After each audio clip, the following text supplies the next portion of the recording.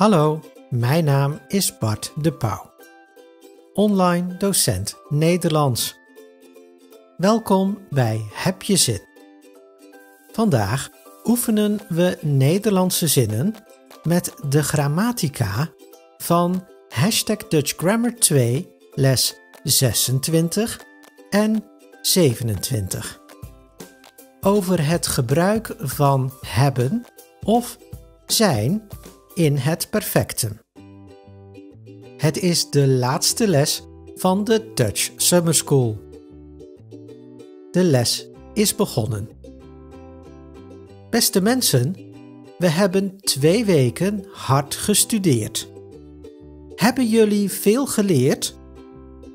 Ja, mijn Nederlands is verbeterd. We hebben veel Nederlands met elkaar gepraat. En we zijn in het boek van hoofdstuk 10 naar hoofdstuk 18 gegaan. We hebben dus 9 hoofdstukken gedaan. En jij, Annika? Ja, ik heb ook veel geleerd. Maar niet alleen de taal. Ik ben op veel interessante plekken geweest. Ik ken nu het Nederlandse platteland een beetje beter. En jij, Pablo? Gisteravond was voor mij de beste avond.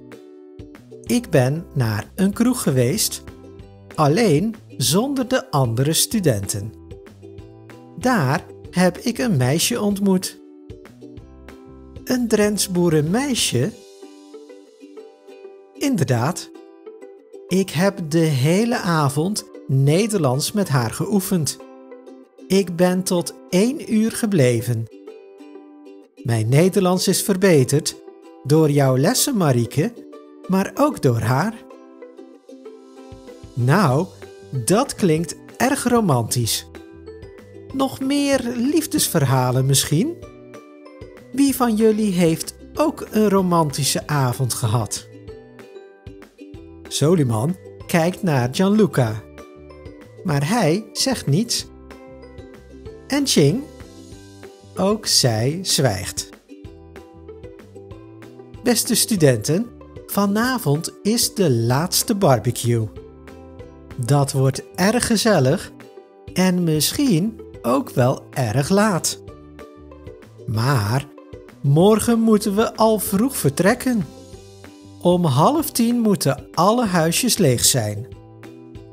Zorg daarom dat je voor de barbecue al je koffer hebt gemaakt. Ruim alles op en gooi je afval weg. En als je morgen een transfer wilt van het vakantiepark naar station Bijlen, boek dat dan vanmiddag bij de receptie voor 2 uur. Ik heb het erg leuk gevonden om jullie les te geven. Jullie Nederlands is beter geworden, daar hebben jullie hard voor gewerkt. En jullie waren ook een hele leuke groep. Ik ben blij dat jullie allemaal naar de zomerschool zijn gekomen. Ik zie jullie vanavond bij de barbecue. De studenten bedanken Marieke en ze gaan hun koffers maken. In de volgende aflevering zijn we bij de barbecue. Ik ben wel benieuwd wat Martin en Marieke tegen elkaar gaan zeggen. Tot dan! Doei!